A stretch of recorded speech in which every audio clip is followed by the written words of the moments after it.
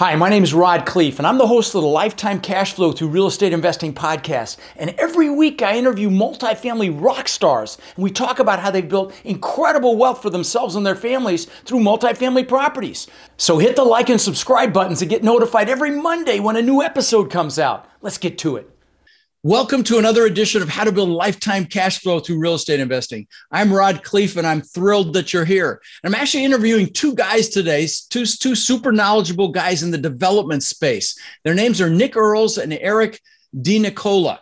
And uh, they are, um, uh, their company is Wing, uh, Winterspring Capital and they've got lots of experience in commercial development. In fact, Nick's wrote, wrote a book called Making Millions Through Multifamily Development. They've got a lot of projects on the table right now, and I'm super excited to dig in. Welcome, guys. Hey, thanks, thanks so much us. for having us. Absolutely. So maybe you could each take turns just kind of talking a little bit about how you got into this business, how you got started, how you got to where you are now, and uh, maybe Nick, you go ahead and start, and then uh, and then Eric, and then and then we'll then we'll get into some questions. Sure. Yeah. So Eric and I have been friends almost 20 years now. Met each other in high school. Um, always kind of thought we didn't want to work for someone else. You know, we had a like a little rebellious streak streak in us from a young age. Um, played football together, played video games together, a lot of team oriented stuff growing up. Um, and we just had this idea, you know, we'll, we'll do a business someday. Um, went our separate ways in college, and I got my real estate license in 2011. And I was selling kind of smaller apartment buildings in Massachusetts and Connecticut. And I said to Eric, hey, this might be the avenue, like getting into real estate investing and we originally had the plan of just buying you know a smaller rental and just kind of getting you know the traditional way most people do it. Um, but as i you know was getting more and more into being a real estate agent i saw an opportunity in condominium development in hmm. boston. Um, huge supply shortage and a lot of demand. Um, and we did our first project in 2015 been doing condo development ever since Nice, nice. Now, you, you said you got your real estate license. Um, were you doing anything else? Uh, you seem very analytical, just the way you communicate, and and, and and and you don't seem like a salesperson. And no. I don't mean that in any sort of a judgmental. It's just an observation. So, were you doing anything else besides the real estate at that time? No, um, just real estate. Hmm. Only a couple sales a year, but okay. you know, selling apartment buildings. I was living with my parents to save money um, in gotcha. my early 20s and okay. just trying to save up as much money as I could. Um, and on the commercial side, I, I agree. I'm not a salesman. Uh, I was always kind of a path to making some money and, and getting into real estate in another way was how I viewed it. Well, but, if, um, you're, if you're doing commercial, then you know that's that's a lot of analysis. So so exactly. now I get it. I, I, in my head I was thinking residential, so that I wouldn't have asked the question if I'd have realized that that you were doing commercial. So so got it. Now I totally got it. You know, and, and guys in the commercial real estate space, obviously brokers have to do a pro forma on a deal. They have to analyze the deal. They have to you know analyze it to the point where they can properly put a valuation on it, for example, and things of that nature. So now now I get it. All right, super. How about you, Eric? Yeah, so you know, as Nick said, back since uh, since high school, it's when we met each other. We had this idea, went our separate ways. I was after college. I worked in New York City.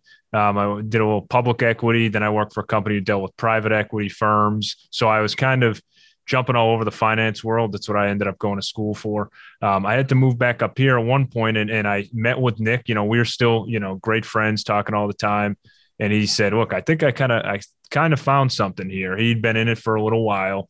Um, found this early project once he kind of discovered that Boston had this kind of condo development uh, play um, where people were very interested in condos. The price per square foot on the sellout side was was continuing to rise, nowhere near what it is now, even six right. seven years ago. But um, and uh, he found this property that was a two family. This is all it was originally two family zone for three.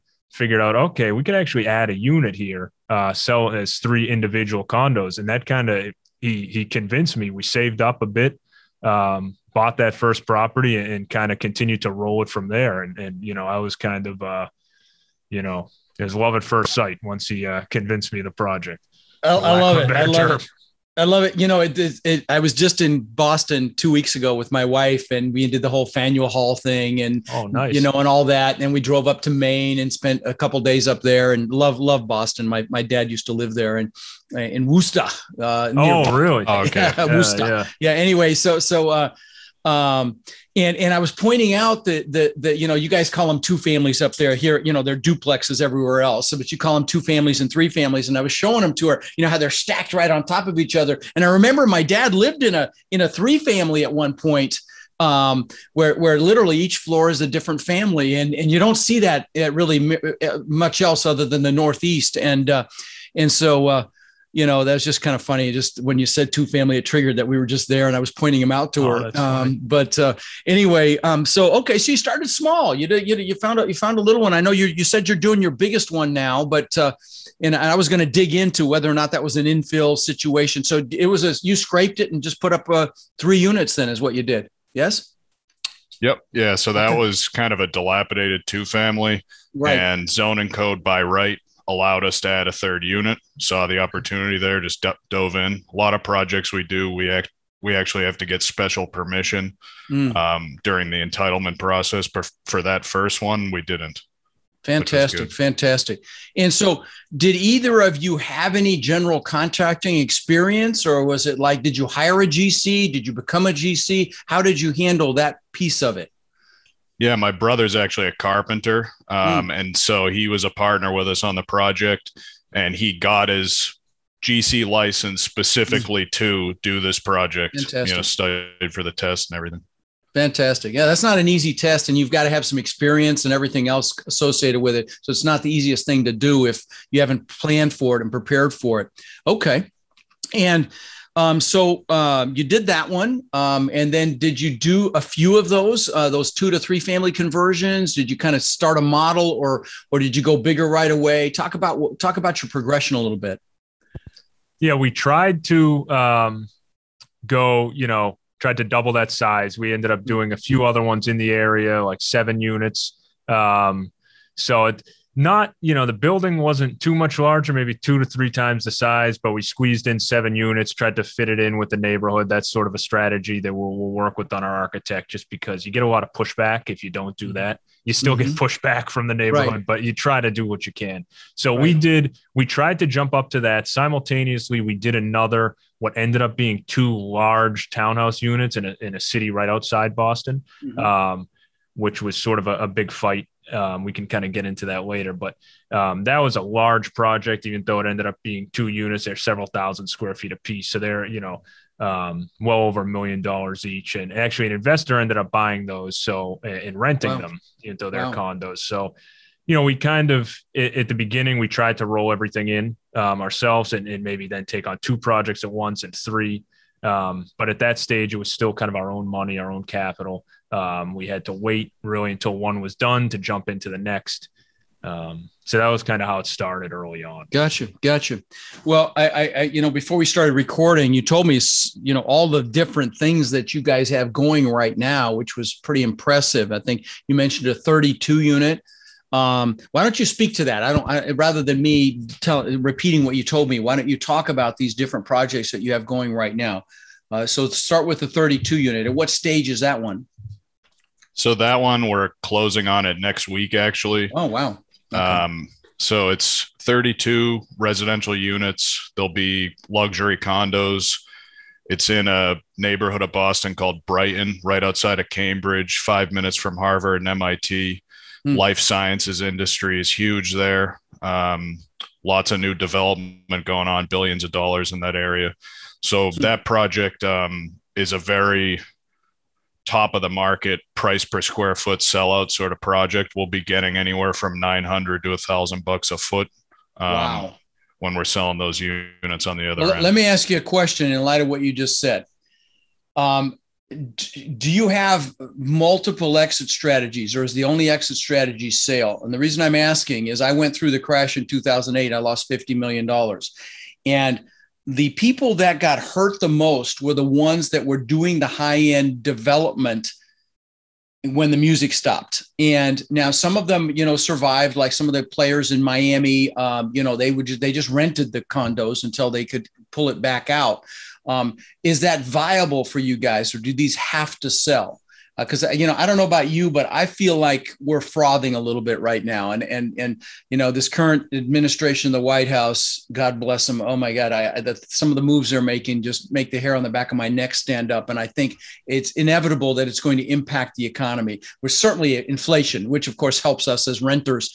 Uh, I mean, as landlords, uh, but but um, doesn't help anybody else. But um, but you know, if, if things aren't selling and and financing dries up, which in 08 and 9, it was like a light switch went off. You I I tried to sell my portfolio at about 35 cents on the dollar and I couldn't sell it. So my question again is is do you have any what's your thoughts on that? Just just speak to that a little bit. And you may completely yeah. disagree with me, and that's great if you do. It's fine. Okay. No, we we we do agree with you on that, and we and we want to have a, a, an, an additional exit strategy. A lot of the guys we've been working with as far as financing this project, they want that as well. Mm. Uh, probably a similar background. They understand, you know, what happened, mm-hmm. uh, you know, 10, 15 years ago. So right.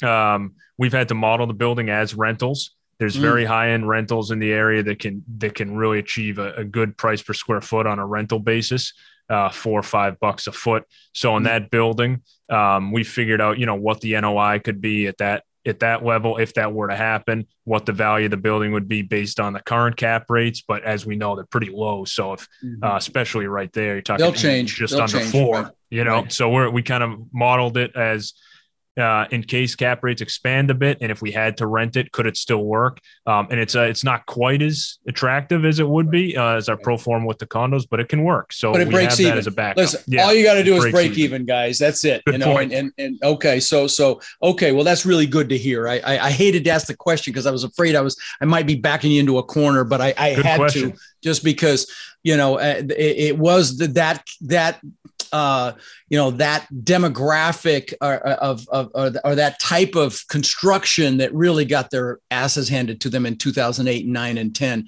so um, i'm really pleased to hear that. Um, so i so that's the 32 unit. That sounds super exciting. I, I am really I'm, I'm, I'm, congratulations on Thank that. you. it sounds like a lot of fun.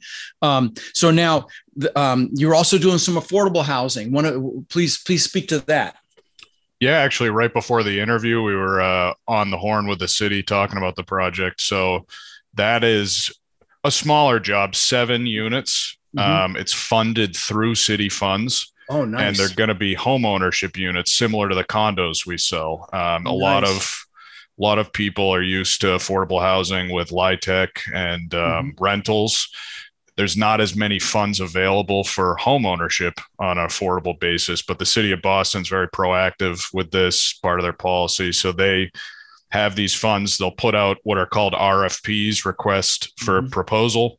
Mm-hmm. Um, and you just kind of say, hey, I can do this with the lot, or maybe they already have plans and you just give them, hey, I can do it for X amount. You know, this is my budget. Um, and then they'll select you based on your background and your team. So we were selected for this project. It's the first one we've done. Um, we're still in the permitting phase, but mm. since we're working with the city, that's obviously a lot smoother than when you're doing. Oh, sure, and they want it so bad. There's such a huge need. What are the margins like, though? I mean, do you, can you make some money? I mean, obviously, you, are not in this to be completely altruistic. Uh, what what what is that looking like? And you don't have to give me detail, but I mean, does it look like the deals will make sense and you'll you'll you'll make a decent profit on them as well? So actually, how it works with this program is um, what you're allowed to sell them for at the end is actually less than the maximum you could sell it for is less than what it costs to build. So you would take a massive loss at, at that rate, but you get the subsidy makes up that difference and then you take a developer fee based on the percentage okay. of that so that's where you as a development firm make the capital so, so you take your development fee okay yeah. so it's, it's yeah. not like a like a flip or anything like that where you've got some some extra margin in there so it's good work guys i mean that's that that talk about needed it's absolutely needed especially in boston good guy yeah. Um, so okay, well that's awesome. Well, the one I'm, I'm I'm super excited to hear about is is is this conversion talk about that this this this office building to uh, apartments because you know i get that i get asked that all the time. What if i buy a hotel and convert it or buy an office building convert it? And i've got you know uh, ex partner that's that's doing a, a, office building conversion right now big one in uh, in cleveland. Um, but uh, talk about that a little bit. Yeah so this is kind of a new strategy for us but it's mm-hmm. we've been slowly building up kind of a rental portfolio with our own money. Um, now we have a, an investor base we build up from our development jobs, and we thought, why don't we tackle some of these? Massachusetts and, and the Northeast in general used to be kind of a man- manufacturing hub in the late 1800s. A lot of old office space. Um, in addition to that, you have a lot of outdated zoning codes where you'll have kind of a major corridor of a city with a lot of vacant office space that would be much better suited as mixed use residential with retail on the first floor.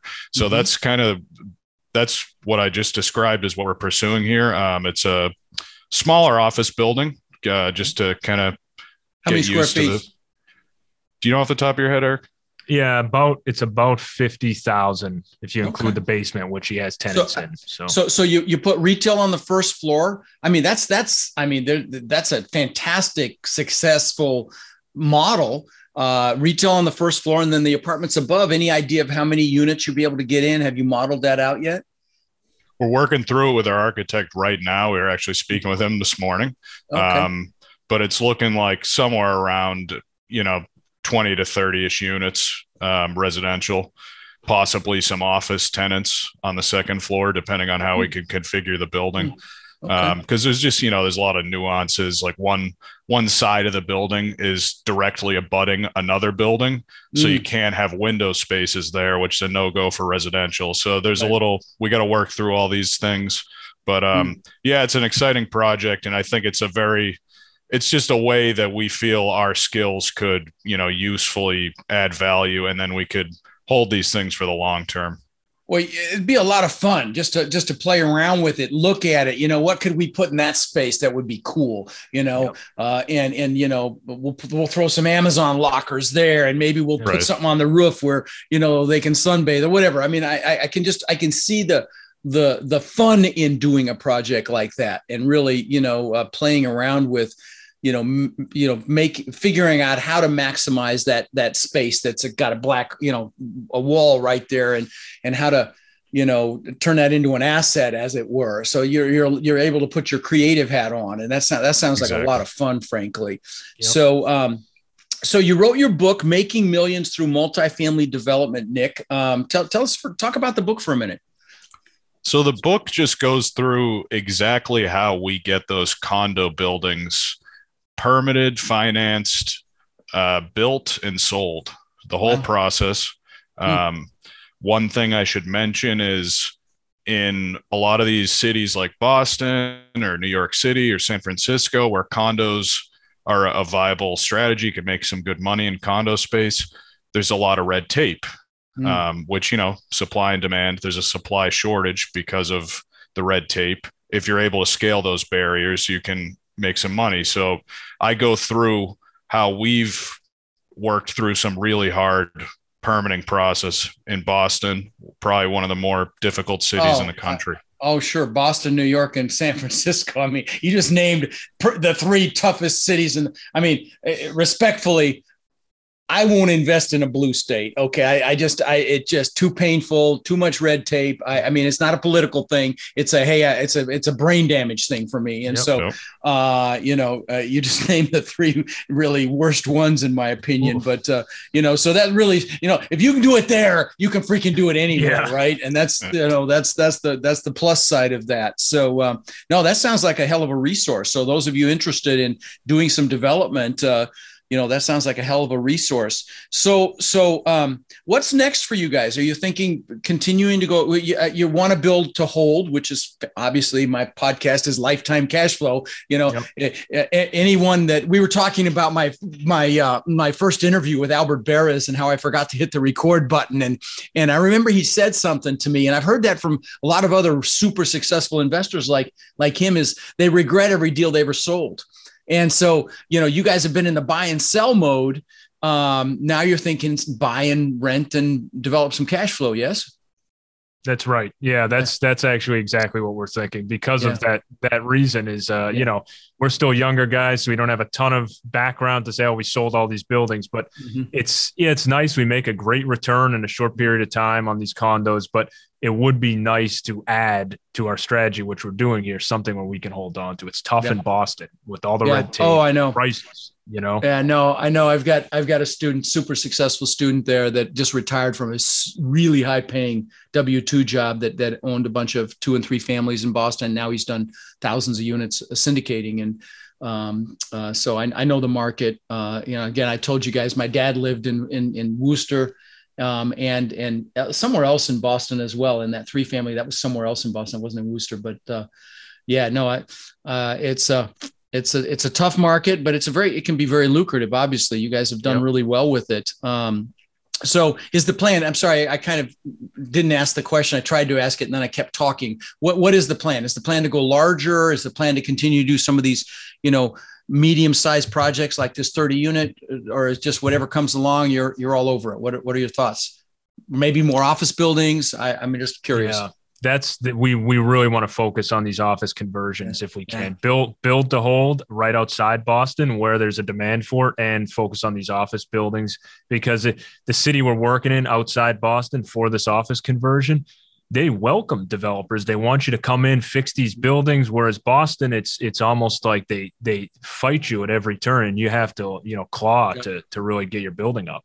Now that makes such a huge difference. If the city's on board or the county's on board, uh, you know, it's it's so much easier. And and you know, I know entitlement is such a pain, and and and you know, and you're dealing with the neighbors and so on and so forth. And if there's you know if there's a, a decent inventory of these old office buildings you know you guys could do this model for years and and and super exactly. successfully so uh you know I, I was hoping that you'd say that because that absolutely makes good sense now is there a path of progress i mean are you seeing are you seeing renovations happening you know because you know or like a gentrification for example because i'll give you an example i i uh, i own a lot of property in denver back in the day this is you know 40 40 years yeah 40 years ago and uh and um, there were there were blocks that I could buy for twenty thousand dollars a house, and now they're a million a house. Okay, and so you know I don't know if any of that's happening. Uh, maybe you can speak to that. It is it, can you see things improving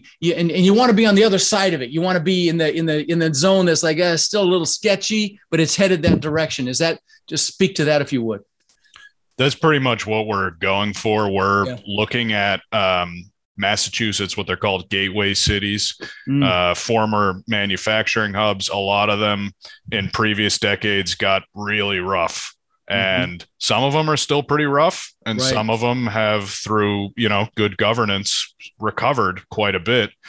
Uh, this particular office conversion we're looking at is in a city like that, where it's they've dropped their crime rates by like 50% since the 90s. So um, they're now like actually a pretty safe community, but they still kind of have that reputation, a little bit of a, a discount on the price, mm-hmm. higher cap rates. But um, we see that it's right outside Boston. It's in the major area, has commuter rail access, which is a big thing, oh, with yeah, the traffic nice. here, mm-hmm. transit oriented. So we do see it as definitely in the path of progress and, and nice. prices are rising of course nice nice well you know when you when you start seeing the artists come in you see the coffee shops you see all the eclectic you know the those kinds of things coming yep. in that's a really positive sign. Great i tell this sign. story i tell this story about this house in denver that i that i flipped. I i, I paid 56 sold it for 76 this is late 80s and the market crashed. Bought that same house back for 18 okay? Wow.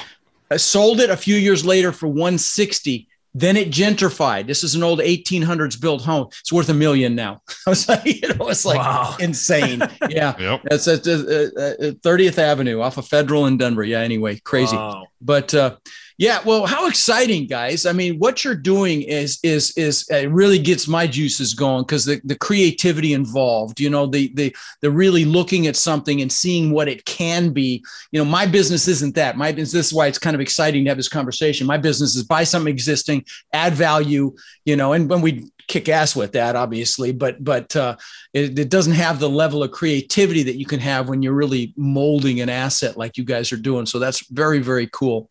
Um, well, listen, um, so. Let's say somebody wants to get into this and they want to develop, they want to build. Obviously, they should get your book uh, for those condo conversions. But uh, um, you know what advice would you give someone that that that maybe has a little bit of background they've they've done some some real estate maybe they've done some construction work they own some property um, and they, they they feel like they want to start in this business what what would you say to them Yeah, I would say we kind of always say this you got to take the leap. If if you get stuck in kind of an analysis paralysis mode we were known to do this at the beginning. We'd look at a deal 100 times and you want to be careful. You don't want to just jump into something because oh here's the first one let's jump into it.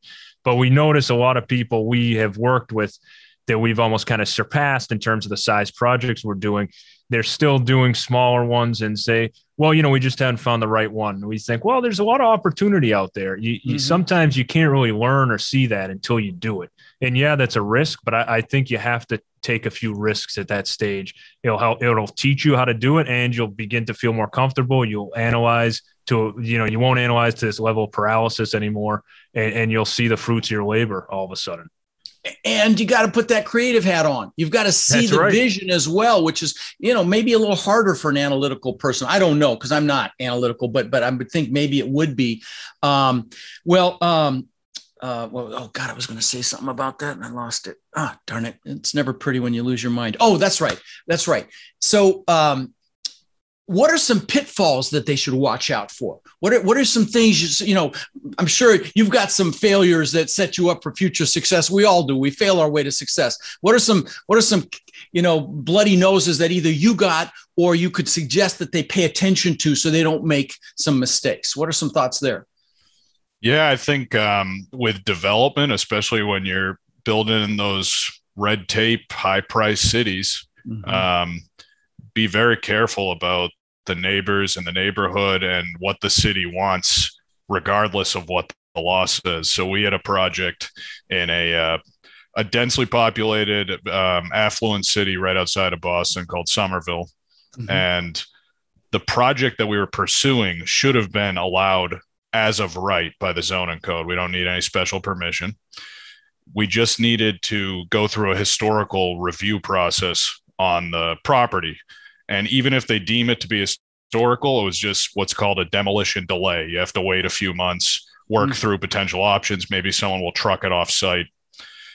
This, the neighbors are were very anti-development, and that historical board, for some reason, just the, whoever wrote the laws wrote it strangely. They have a lot of power randomly. Maybe I don't even think that was intended, but they do. Mm. And we should have known early on when we were getting into that how much resistance there was. Even though the law said one thing all these people against us we just kind of were blissfully ignorant going into it. What they ended up doing is they actually changed the zoning code. They rallied the neighborhood and changed just that street that we were on which is actually illegal. It's called spot zoning. Wow. but we, we would have had to sue the city and obviously we're not capable of doing that. Right. so um, we were actually able to salvage the project we we brought in a, a former politician and a zoning attorney working with in a lot of projects. We were able to get a smaller project built, but um, that was you know be very careful if if the neighbors have power, if random historical boards for some reason have all this power, be careful, listen to what they're saying, listen to look at the places where they allow development. Don't just go, you know, don't try to swim upstream. Yeah, yeah, yeah, yeah. Oh, that's really good advice. Listen, um, you know, you guys added t- tremendous value. Is there any t- is there any area of your business that you want to touch on? Because again, it's not something I've done, so I'm, I can not speak too intelligently about it. I know entitlement's a pain in the ass, but is there any other part of the business? Know, here's one. What, what how are you dealing with the construction pr- uh, price of materials? You know, what's happening there, and how's that impacted what you're doing? Please speak to that for a moment, because that's a big one. That's a good question. Very relevant, obviously, yeah. to us and, and, other builders over the last year, year and a half. Um, one thing, you know, lumber, for example, is a massive component of anything you build. It's really the largest component. So we we've kind of lucked out that we had some orders in and started construction on some of the current projects almost before that was taking off, and then it started to come back to earth at least recently. Um, we've locked in some prices that are more expensive than they've been but we still we found a way to make them work within the project. Um, we used a little more uh, last year a little more metal in some areas and sort of hmm. you know steel which now the coincidentally that's now going up and that's up. Um, so we're trying to now limit that.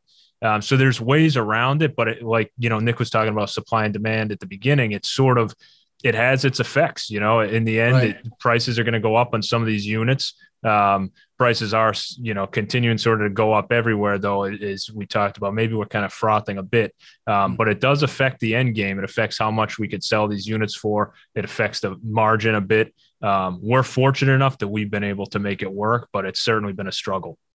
Yeah, you know, you see these memes of a little pile of scrap wood on the side of the road, like treasure found, and you know, funny stuff because wood has been so.